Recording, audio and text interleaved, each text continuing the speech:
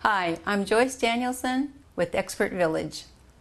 Okay, so now we're going to move on to the pillowcases. And again, you're just going to open them up, just lay them flat, and just iron it.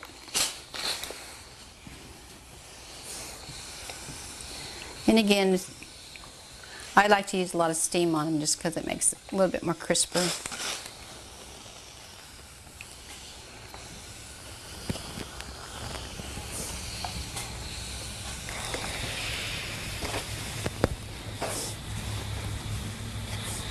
These are nice pillowcases.